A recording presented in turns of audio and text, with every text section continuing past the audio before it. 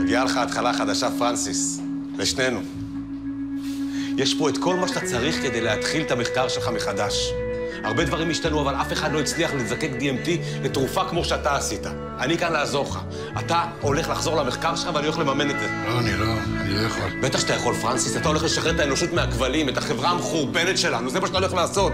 אם אנשים היו צורכים DMT כמו מקדונלד, העולם היה נראה גן עדן.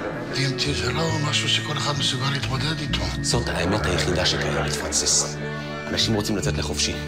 הם יהיו מוכנים לשלם הרבה מאוד כסף בשביל DMT טהור כמו שרק אתה יודע לזקק. תבין, אני לא זוכר סמים. זה לא סמים, פרנסיס. זה מתנה מכוח הבריאה, ולאף אחד אין בעלות עליה, גם לא לך. אבל אני כבר לא הבן אדם הזה. תחשוב מה אתה רוצה להשאיר, איזה מורשת אתה רוצה להשאיר.